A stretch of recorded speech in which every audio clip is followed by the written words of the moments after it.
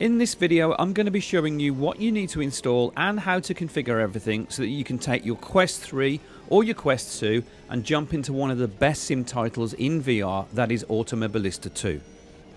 Not only does it have vivid colours, exceptional graphics, it is simply a great immersive experience which more importantly just works out of the box. VR is known to be resource intensive, yet with AMS2, this is hardly an issue as the game just runs so smoothly. There's no need to install any mods, so if you're looking to just jump into VR and drive, then AMS2 is the title for you. I'll also be showing you which settings you need to change to get the best image and performance possible out of your headset, so stick around at the end of the video for that. So firstly, download and install the Oculus Quest desktop app onto your sim rig. There will be links down in the description below for everything that you need. once that's installed, run that application, click on the devices on the left hand side towards the bottom. Now connect your Quest 3 using your link cable to your sim rig and power it on. Give it a few seconds and it will eventually show up as a device in the Oculus app. Now, a really important tip here is to run the USB link cable test. So to do that, click on the headset and then scroll down until you see USB test towards the bottom. Click on that and then click on test connection. Now give that a few seconds to run and if the app shows a compatible connection with a green tick, you're good to go. If it reports there's an issue with speeds or that it's not connected to a USB 3 port, then connect it to a USB 3 port and run the test again. Now, once that's done, click Quit Test and minimize the Oculus app. Next, I want to talk about anisotropic filtering. Now, having your graphics card handle this rather than your CPU is a much better option as it brings a far better performance benefit. Now, I have an NVIDIA graphics card and so because of this, I have this set in the NVIDIA control panel. Now to open that up, right click on your desktop and select NVIDIA control panel from the list that's shown. Next, click on Manage 3D Settings on the top left. And then on the right hand side of the screen, click on the Program Settings tab. Now, where it says select a program to customize, click on that drop down and search for the Automobilista 2 program in the list. If that doesn't show, click the Add button, and if it still doesn't show in the list of programs shown, and that list could be very long, click on the Browse button at the bottom. Next, navigate to your Steam library installation folder. Mine is on my E drive as shown, but yours might be elsewhere. Click on the Steam library folder, click on the Steam apps folder, and then double click on the common folder. Next, double click on the Automobilista folder and then scroll all the way down until you find the AMS2 AVX.exe. Select that and click open. Now, as you'll see on screen, these are my settings for the AMS2 EXE. There's the 16 times for anisotropic filtering.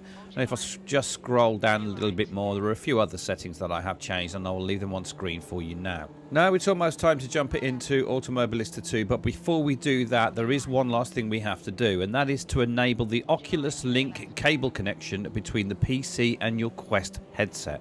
If you're finding this video useful, drive straight into that subscribe button for more content like this.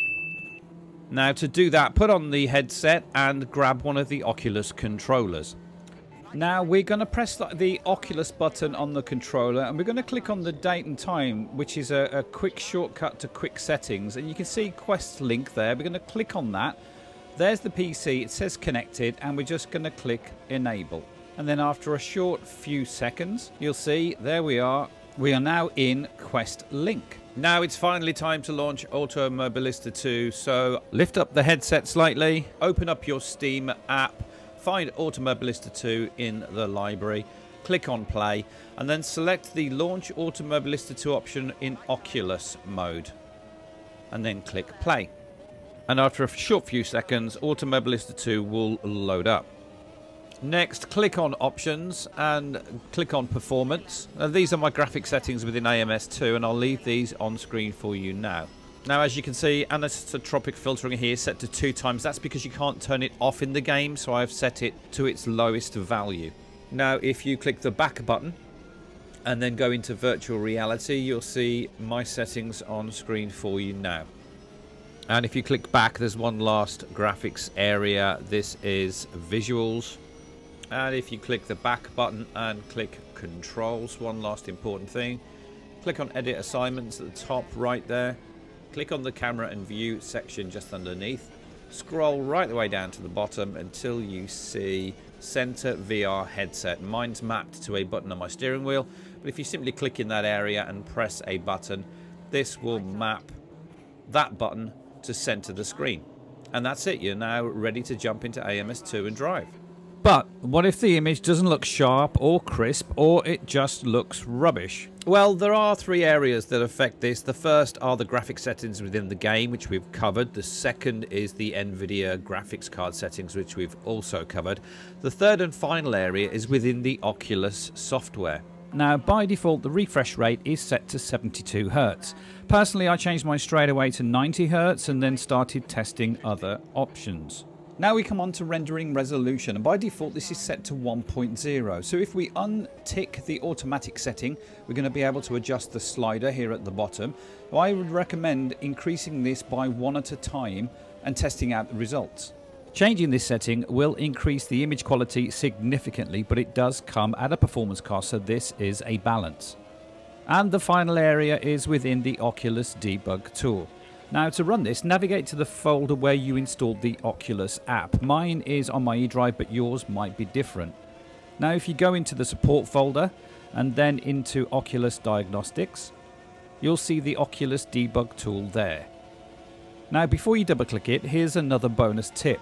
Right click it and choose create shortcut. You will then see a message asking you if you would like to create the shortcut on your desktop and choose yes. Next, find that shortcut on your desktop and double click it. Now I've left all the other values at default, but the one in particular we're going to pay some attention to is the encode bitrate. Now by default this field is set to zero, which is around 130 megabits per second. To increase this, I'd recommend using increments of 100. So start by setting this to 200, and test it and increase it by 100 at a time. Now you'll see that there's a maximum value that you can freely type into this field and that value is 500. Now as you'll see if I try and type 600 into this field I can't actually do it. So what you need to do is to open something up like Notepad and key in the figure that you want so as an example 600 then copy that to the clipboard and then simply paste it into the field and hit enter. Another bonus tip here is when you're testing these values, I'd recommend that you have a performance overlay shown in the VR headset to help you see how the headset and the PC are performing. As you'll see down here in the Oculus debug tool, it actually provides one for you. So set the visible HUD to performance and then set the mode to performance summary. Now, I can't tell you what values you need to set to get the most out of your PC and your headset. The values you arrive at will depend entirely on your PC specifications. Now, if you want to take your sim racing experience to the next level, check out the video that's on screen right now where I discuss 10 game changing apps every sim racer needs. Catch you in the next one.